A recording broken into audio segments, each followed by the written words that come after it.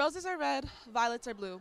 I may not have a man yet, but boy, do I have some news for you. Hey guys, I'm Elizabeth, and here's your news update for this week.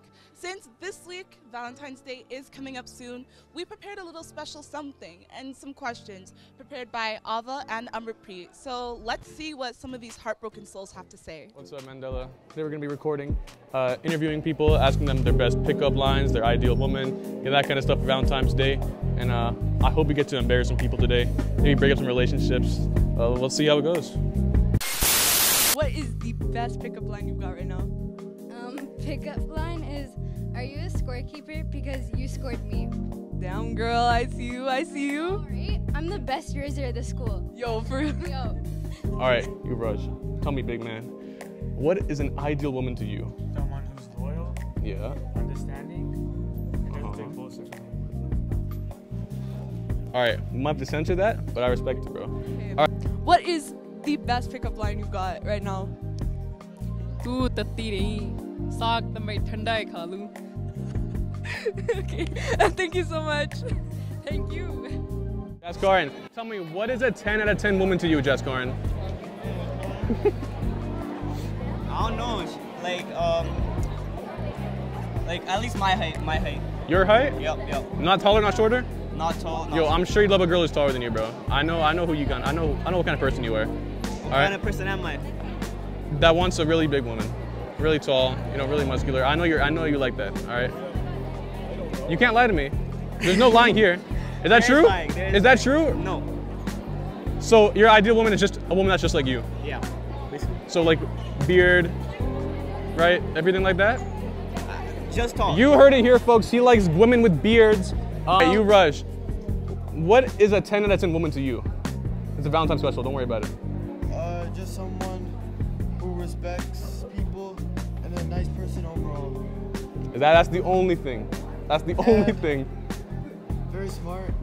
uh huh. Uh huh. They're just a good person overall. Anything else? Anything else at all? Uh, Anything else? looks don't matter to me. It's about what's inside, not out. Goofy, yo, give me your microphone, bro. You liar. You cannot be lying to me on the news, bro. Uh, Harpreet, what is your ideal man? Some traits in an ideal man. non-existent Why? Why is that?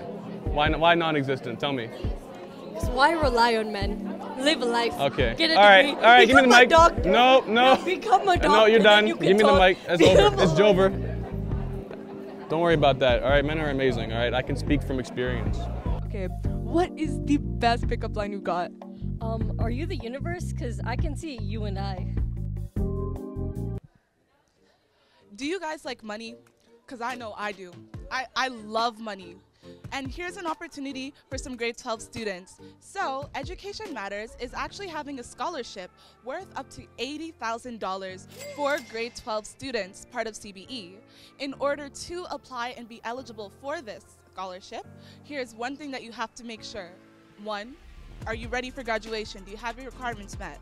Two, have your program set in mind. And three, you have to answer a 500 word essay on what it would mean to you if you were to receive this type of opportunity and how what program what the program you are entering is going to have an impact on our community.